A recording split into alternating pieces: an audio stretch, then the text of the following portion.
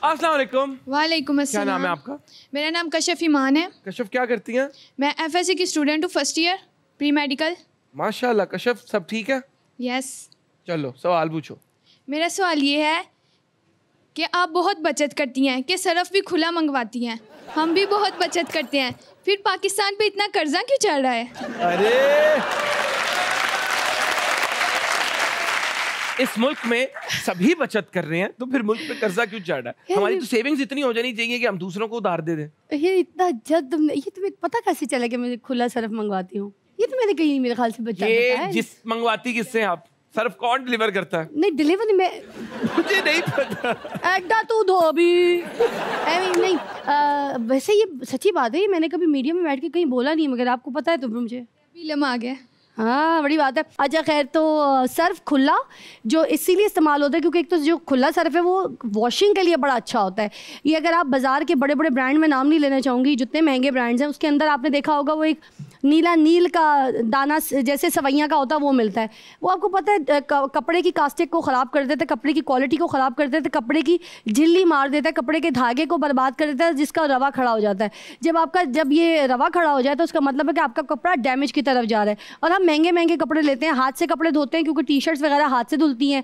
जो ऐसे कोई मोटे चादरें, ये चीज़ें होती हैं मशीन में धो लेते हैं। ऐसे ही है। तो फिर उस सर्फ को जब आप उस सर्फ के साथ मिक्स करेंगे तो उससे एक तो सफ़ाई अच्छी, धुलाई साफ़ सुथरी होगी और वो इतना हैवी केमिकल वाला सर्फ नहीं होता। तीसरी बात खुशबू अच्छी होती है उसके बाद आपको सॉफ्टनर में कपड़े डुबो के तो तमाशे नहीं करने पड़ते। धो के देखिएगा सस्ता भी अच्छा भी। इसी बात पर अगला सवाल पूछना चाह रहा था लेकिन क्या करें? ब्रेक लेनी पड़ेगी। चैनल चलते इस तरह है तो आप कहीं मत जाइएगा मुझे पता है आपको अच्छा नहीं लगता ये जो हमारी दूरी है। लेकिन चैनल चलते इस तरह है, इस तरह जाकर इस तरह आएँगे कहीं मत जाना चाय कॉफ़ी पीनी है पी लो बाथरूम जाना है हुआ क्योंकि हद कर दी का सिलसिला भी ख़त्म नहीं हुआ। लव यू वेलकम बैक आ जाएँ हद कर दी का ये जो सिलसिला है इसको आगे लेकर चलते हैं और फिर जी से पूछते हैं मज़े मज़े के सवाल। आप कहती हैं मैं तो लंडे से शॉपिंग करती हूँ। लंडा इधर भी खुल गया। हाँ इधर है ना बड़ा हैवी वेट लंडा इधर। तो लंडे में जाके बार्गेनिंग का कुछ तरीका तो बताया था।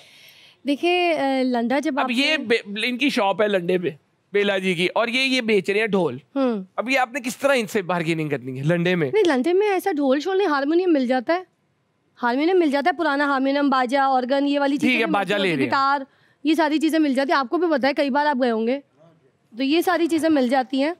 नहीं ये भाई मेरे जितने भी बेल्ट लगाए पूछ लो किसी से सच बोले अल्लाह को जान देनी है दूध वाले को तो नहीं देनी है ना। सच बताना है बेल्ट है जो आपने लगाई है काफ़ी भाई मेरे भाई होंगे लंडा से मैं तो लाती हूँ पहनती हूँ। आप लाए जिगर है तो बताएँ लाए। कौन लाया किसने पहनी है कोई दिखाए? आपने तो बेल्ट ही नहीं पहनी है।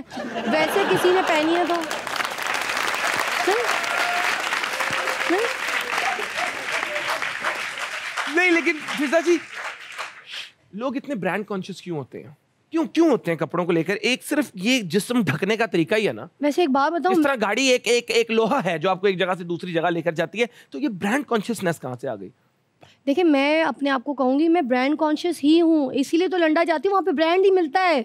ओके वो ब्रांड सिस्टम में ले लेती ब्रांड है। के लिए तो आप मुझे बताओ लंडन में ब्रांड ही मिलता है ना कोई मेरी पुप्पी के कपड़े थोड़ी मिलते हैं?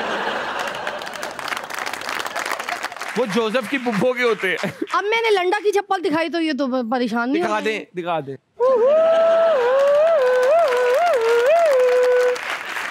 ये किसी दुकान में मिले तो बता दीजिए लंडा की है।